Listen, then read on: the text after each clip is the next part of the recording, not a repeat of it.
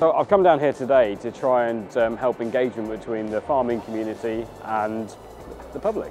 You know, trying to create a link there to make sure that you have a better understanding of where their food comes from, how it's produced, and you know, really making sure people understand when they go to the shop, all the involvement and the efforts and the resource that goes into producing that food.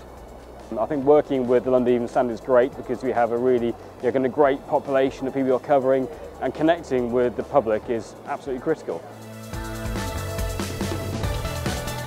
The thing that drew my attention was the display. Um, obviously I was intrigued and then that led me to start reading more about it. It kept the attention. Yeah.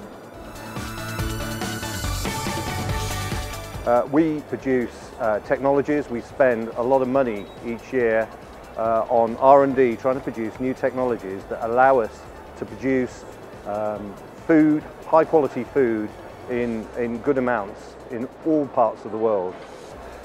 We obviously do this um, within the context of the environment that farmers operate in.